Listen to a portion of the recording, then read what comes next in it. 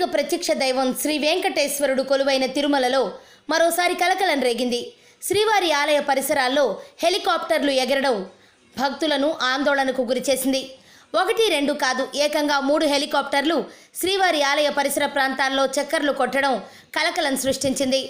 ఆలయానికి సమీపంలో ఉన్న తరిగొండ వేంగమాంబ క్యాంటీన్ పరకామణి భవనం బాలాజీ నగర్ ఏరియాల్లో హెలికాప్టర్లు సంచరించాయి.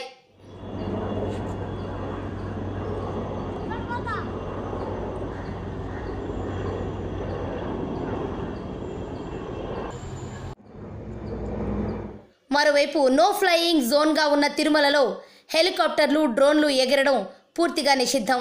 ఈ నేపథ్యంలోనే ఆ హెలికాప్టర్లు ఎగరడంపై అధికారులు ఆరా తీస్తున్నారు. అధికారుల పరిశీలనలో శ్రీవారి ఆలయ పరిసరాల్లో సంచరించిన హెలికాప్టర్లు భారతీయ వాయుసేనకు చెందినవిగా తేలినట్లు సమాచారం.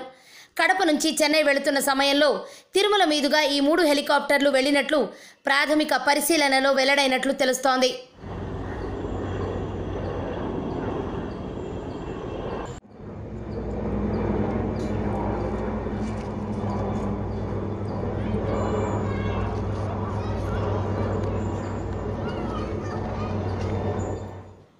అయితే గతంలోనూ ఇలాంటి ఘటనే ఒకటి చోటు చేసుకుంది.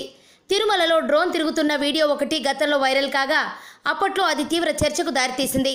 అయితే అధికారుల పరిశీలనలో ఆ డ్రోన్ను సర్వే కోసం వినియోగించినట్లు తేలింది. తాజాగా ఇప్పుడు మరోసారి శ్రీవారి ఆలయ పరిసరాల్లో హెలికాప్టర్లు తిరగటంపై భక్తులు ఆందోళన వ్యక్తం చేస్తున్నారు.